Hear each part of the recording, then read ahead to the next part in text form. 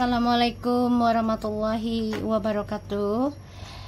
Hai guys, kembali lagi di channel aku Lucky Tarot MS Hari ini aku bacakan tentang situasinya maskulin.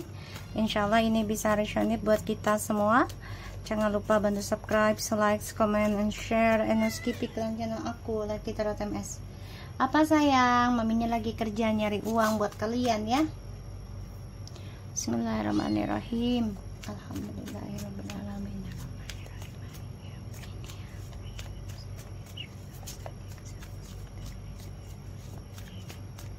Kita lihat situasinya maskulin. Insya Allah ini bisa rencana 90% jadi nyata energi bisa cepat atau lambat. Lambat atau cepat jadi jangan dipaksakan ya. Jangan jadikan Tuhan readingan aku ya. Ini hanya sebagai payung saja sebelum hujan ya yang baiknya kita ambil yang buruknya kita perbaiki. Ya. The sun kamu bisa berurusan dengan Leo and air sign.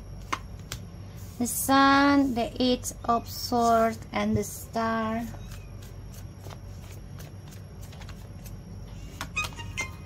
The knight of cups six of pentacles. Three of cups. Oke okay, maskulin kamu lagi stres ya. Memikirkan tentang kebahagiaan yang sesungguhnya tuh seperti apa sih gitu. Karena ini selalu ada triparti terus menerus dan kamu juga terperangkap dalam kebahagiaan semu ya di sini. Kebahagiaan sesaat gitu. Ya kamu coba untuk terlihat bahagia ya dengan hubungan triparti kamu. Tapi sebenarnya kamu tidak ya. Setiap malam itu nggak nyaman. Karena ya memikirkan tentang hari ini dengan siapa hari besok dengan siapa hari ini kasih hari kasih berapa ya dengan si A si B nya ya untuk mencapai kebahagiaan. Kecewa sebenarnya ya sulit, tapi kamu ya mau nggak mau kamu bawa beban itu dan ini membuat kamu merasa lelah ya. Ada three of pentacles, the, the ten of wands, and the eight of cups and the seven of pentacles ya kamu dihantui tentang kekecewaan dari hasil triparti yang kamu bangun ya yang kamu tanam. Dan kamu ya berujung akan menuju ke kekecewaan. Dan membuat kamu ya mau nggak mau harus move on walaupun berat rasanya gitu ya mau nggak mau. Dan ya kamu harus menerima suatu hasil yang tidak baik ujungnya. Ada the sun, eight of swords, the star, page uh, the knight of cups six of pentacles the three of cups the ten of cups. Memikirkan kebahagiaan yang sejati yang tulus. Tapi ternyata tidak ya. Kamu uh, tersiksa setiap malam dihantui tentang keadilan terutama tentang masalah keuangan masalah uh, kebahagiaan masalah cinta kasih ya di sini jadi kamu bener-bener uh, merasa nggak nyaman aja ya dengan situasi yang kamu jalani sekarang. Walaupun mencoba terlihat fine terlihat adil gitu ya. Padahal kamu di sini tersiksa sendiri ya. Dan ya kamu selalu bermimpi buruk juga ya tentang hubungan kamu dengan orang baru ini selalu akan hadir orang baru lagi atau orang lama akan hadir dalam hidup kamu. Ya orang lamanya dari tripartinya kamu ya maskulin. Uh, terperangkap dalam karmic circle dan harus belajar tentang pembayaran karma. Gak nyaman ya untuk menjalani processing tentang keadilan ataupun tentang karma ya. Kamu juga uh, merasa nggak nyaman ada rasa ketakutan tentang perceraian juga entah itu dengan orang lama kamu ya feminim atau dengan orang baru kamu.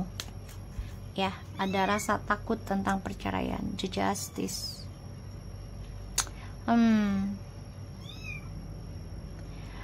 kamu coba untuk berlaku adil mencari kebahagiaan di luar kebahagiaan kamu dengan uh, feminim ya.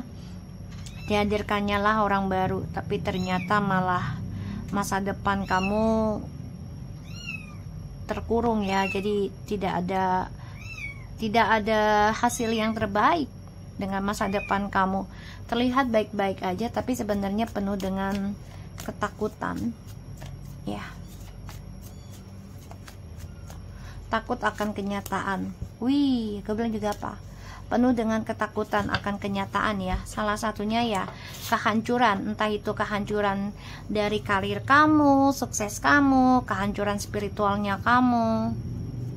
Ya karena kamu memantau nih feminim ya sudah mulai bisa tunjukkan kebahagiaan dirinya gitu. Ya dan kamu merasa tersiksa sih. Ya dengan pilihan kamu sendiri. Mau udahan juga feminimnya sudah berdamai dengan keadaan ya.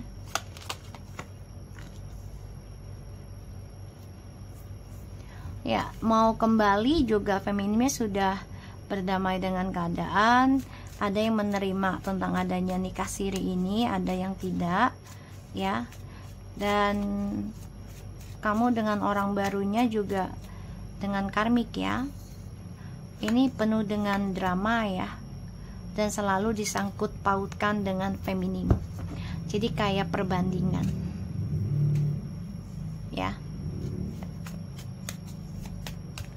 Dan kamu juga nggak nyaman nih ketika tahu feminim ya ada yang disukai atau ada yang menyukai feminim ya terutama untuk menikah ataupun secara serius lagi gitu ya.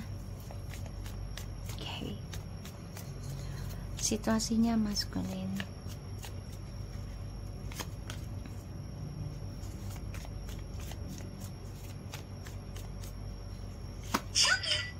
sorry ya handphone gue shopee. Two of ones oke okay. Ah, the chariot, the seven of pentacles, the ace of cups, four of sword. Kamu lagi mikirin nih, gimana caranya bisa ya menaklukkan semuanya, ya. Terutama kamu juga berharap ada kesuksesan dari karir kamu yang baru kamu jalani, ya di sini. Tapi ada rasa takut juga ya tentang uh, perjalanan hidup kamu dengan orang baru karena akan penuh dengan ujian juga yang kamu tanam. Kamu tahu itu akan terjadi ya, kamu tahu karma itu berlaku sebenarnya, tapi kamu tetap lakukan. Ada page of pentacles, the justice, the tower, the page of cups, the empress, the words, and the two of wands. Ooh akan ada suatu pembayaran karma dan kamu ingin kembali kepada feminim itu rencana kamu ke depannya. Ya. Karena di sini kamu ya dihantui rasa ketakutan tentang masa depan kamu. Apalagi kamu bermimpi kalau feminim ini ya masa depannya lebih baik. Bahkan ada yang mencintai feminim lebih lebih tulus dibanding kamu gitu ya. Kamu udah bermimpi buruk seperti itu bahkan juga berprasangka buruk gitu berpikiran negatif ke feminim. Jadi play victim sih kalau aku lihat di sini ya. Kamu mencoba bahagia dengan kehidupan barumu terutama entah itu pekerjaan atau pasangan tapi kamu malah terikat ya tentang karmic circle yang mana kamu ya uh, terperangkap dalam pembayaran karma ya. Kesuksesan yang kamu raih ini akan mengali, uh, mengalami kehancuran ya berantakan. Entah itu secara spiritual juga. Dan ya kamu keinginan untuk kembali kepada feminim ini ada ya. Karena kamu tahu feminim itu orangnya nerimaan ya. Jadi kamu ada rencana ingin kembali lagi sama feminim tapi rencananya ini selalu ada tripartinya.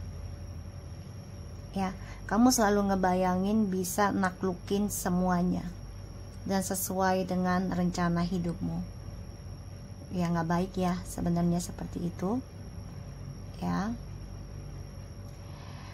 Uh, maskulin ya berharap bisa rujuk dengan feminim. Ya mencoba mencari jalan dengan alasan anak nanti kembali lagi sama feminim. Ya alasannya karena dia dengan orang barunya ini ya dihantui tentang kehancuran. Dan apalagi fem, uh, maskulin takut akan feminim bahagia dengan yang barunya. Kita lihat the eight of swordnya tuh ya three of cups. The moon.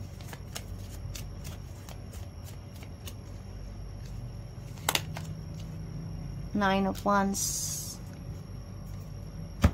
Oke okay. tersiksa nggak nyaman bahkan juga sakit. Ini adalah karma karena dari perselingkuhan atau permainan yang maskulin simpan selama ini. Bisa disimpannya selama uh, atau 9 bulan bahkan 9 tahun ya. 3 tahun atau 9 tahun di sini. Yang sudah disimpan rapat tapi ternyata ketahuan juga ya. Dan ini membuat maskulin stres ya.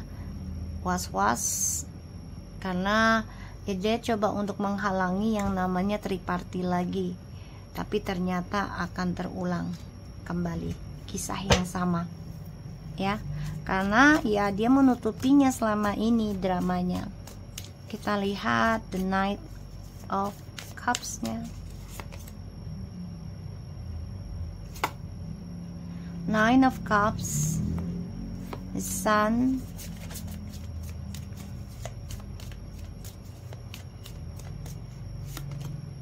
eight of pentacles. Ten of swords. The page of wands. Ace of wands. Maskulin kamu keinginan perbaiki lagi kebahagiaan kamu salah satunya dengan kembali kepada feminim ya itu harapan kamu. Kamu ingin nunjukin. Padahal kamu di sini ingin lari dari yang namanya pembayaran karma kamu yang baru dimulai ya dari permainan kamu sendiri. Jadi kamu coba untuk memanipulasi permainan ataupun perjalanan karma kamu ya. Aku ngelihatnya di sini. Kamu coba untuk bisa perbaiki nih penyembuhan diri kamu kamu dekati um, coba untuk memperbaiki doa kamu berdoa ingin kembali kepada feminim ya. Padahal ini salah satunya tujuan kamu biar lari dari yang namanya karma buruk ya ujungnya ketika kamu kembali kepada feminim akan terulang lagi nih. Ini sudah ada di pikirannya kamu akan mengulang hal yang sama. Kita lihat the three of cups. The judgment the king of pentacles. Kan? Aku bilang juga apa? Akan terulang hal yang sama. Ini sudah ada di pikiran kamu. Jadi kayak udah gue sukses dulu terkalo sukses lagi ya udah gue seneng-seneng lagi aja. Ini ya yang ada di pikiran kamu. Jadi kamu nggak sebenar-benarnya ending tentang perselingkuhan. Ibarat kamu tobat sambel ya. Ya sehingga karmanya ini akan terus terulang. Pembayaran karmanya. Semua kembali lagi pada feminim. Kalau kalian masih menikah ya terima ya mau gak mau itu resiko kalian menikah. Ya jangan lari dari tanggung jawab. Kalau kalian masih merasa masih bisa diperbaiki. Tapi kalau sudah tidak sanggup ya katakan tidak sanggup kepada maskulin. Ya agar tidak terjadi uh, kesalahpahaman berkepanjangan. Ya kita lihat justice-nya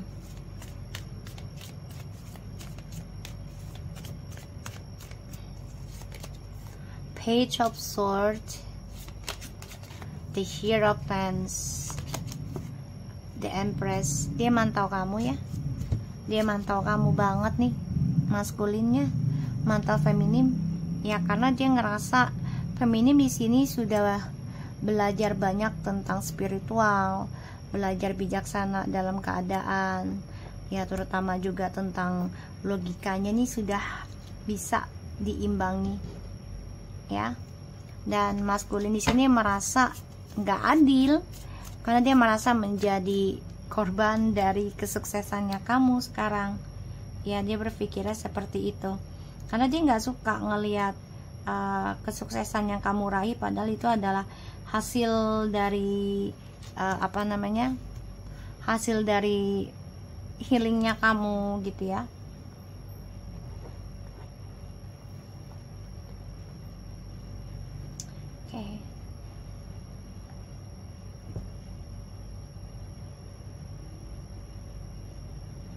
kita lihat ya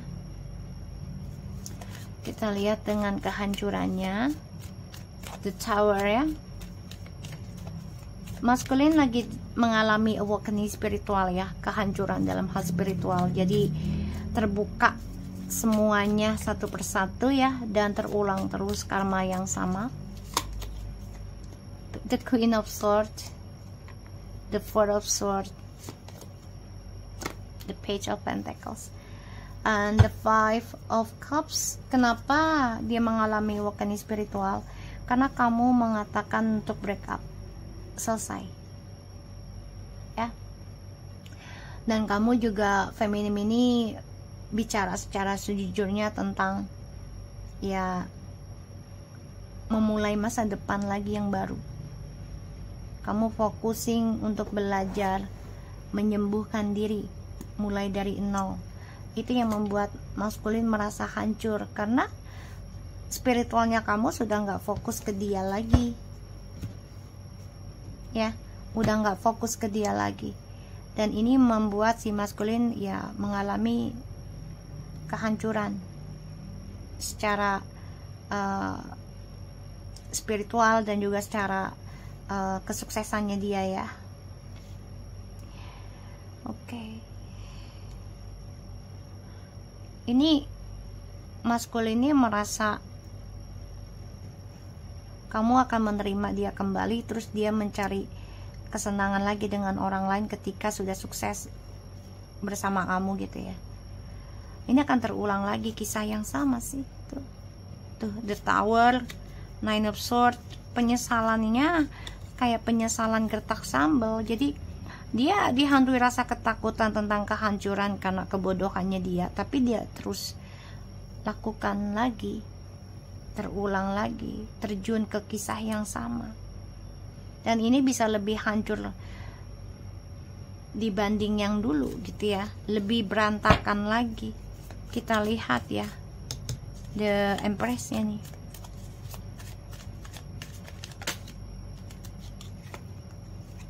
Seven of Pentacles, guys.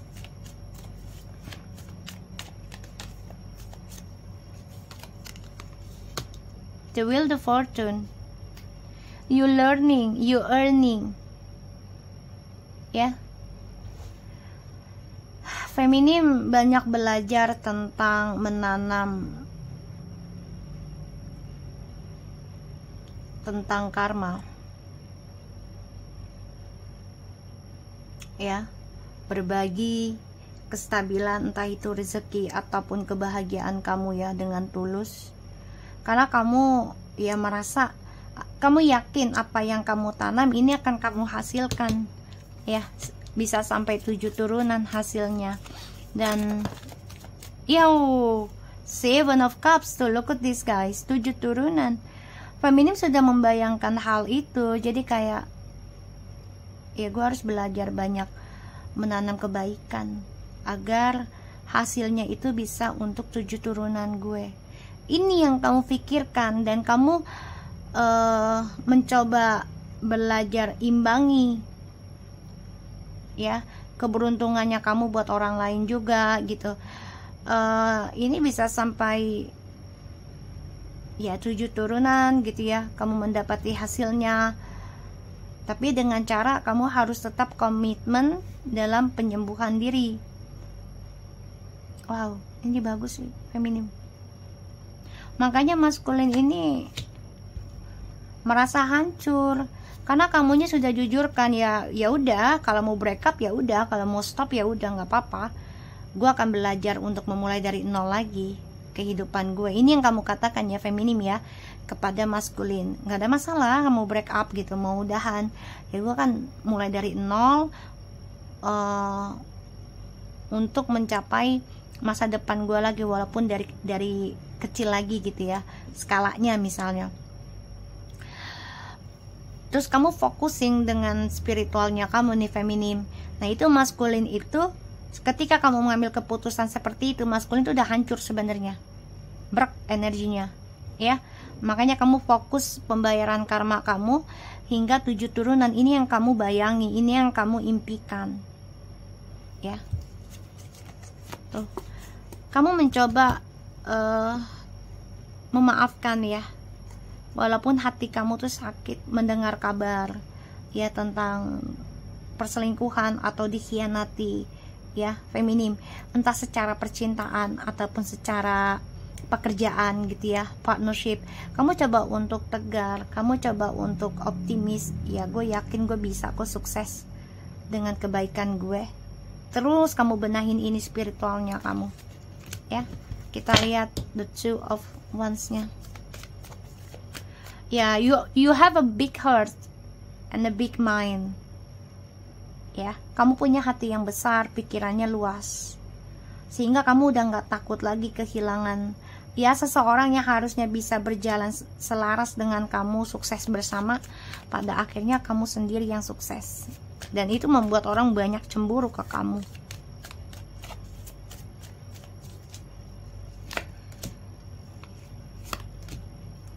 Oh ya banyak cemburu. Ada the justice the world and the queen of cups. That's yours. Uh, feminine you are focusing for yourself ya yeah, the justice kamu optimis dengan kehidupan kamu yaitu focusing tentang perjalanan spiritualnya kamu karena kamu yakin apa yang kamu ending, apa yang kamu mulai ini ada pembayaran. Segala sesuatunya itu ada akhir, ada mulai dan akhir ya. Ada beli, ada jual ibaratnya seperti itu dan kamu yakin apa yang kamu lakukan ya terutama kamu optimis dalam perjalanan spiritualnya kamu kamu akan mendapati suatu kesuksesan yang adil. Ini adalah karma baik kamu. Sedangkan si maskulin ini ini dia menjadi perdebatan batin ya antara logika dan hasratnya dia. Jadi ada janji yang belum dia penuhi ke kamu dan ini menjadi suatu pertengkaran hebat dalam dirinya antara logika dan hasrat. Makanya dia ada berencana kembali ke kamu lagi nantinya, tapi tapi niatnya dia udah nggak bagus di sininya. Jadi ketika dia sukses lagi dengan kamu, dia akan ya mencari orang lain lagi dan itu akan terulang terus gitu loh. Ya. So semua kembali lagi sama dirimu ya feminim kalau kamu mau ya silahkan kalau masih menikah ya jalani nikmati ya dan belajar maafkan karena processing untuk uh, menjadi uh, energi feminim yang sesungguhnya itu memang sangat luar biasa ya ujiannya harus kuat oke okay? kita lihat situasinya maskulin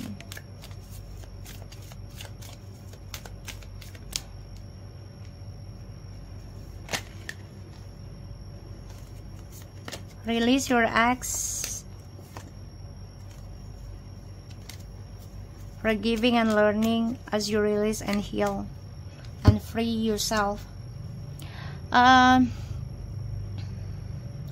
maskulin ini sebenarnya belum bisa melepaskan kamu seluruhnya secara energi juga. dan dia sadari apa yang dia lakukan itu salah ke kamu dan dia sadar juga sebenarnya energi kamu itulah yang membuat dia membawa kesuksesan gitu ya terutama energi spiritual yang kamu miliki yang kamu pelajari gitu ya. Di sini dia coba untuk bisa memaafkan apa yang terjadi dan dia ingin bebaskan dirinya terutama dari kamu juga. Tapi ya semuanya itu belum bisa dia lakukan ya karena ya salah satunya dia masih memiliki niatan yang gak baik. Ketika kembali lagi sama kamu dia ada keinginan untuk menduakan. Tuh ya aku baru ngomong ya jadi ini hanya sebagai apa ya kalau dibilang tuh labilnya memang belum bisa distabilkan dulu gitu loh energinya dia gitu niatannya dia ya. So aku harap ini bisa resonate dan membantu kamu tetap semangat dalam hidupmu ya. Untuk feminim tetap uh, jaga spiritualnya kamu. Jangan sampai lengah apalagi ini mau ini sudah masuk akhir bulan suro. Dan besok ini tanggal 8 bulan 8 dan 2024 itu pintu gate spiritualnya lagi terbuka jadi perbanyak ibadah dan dijaga spiritualnya ya dengan guru-guru kalian semua oke okay? agar terkoneksi dan banyakin berbuat baik oke okay? assalamualaikum warahmatullahi wabarakatuh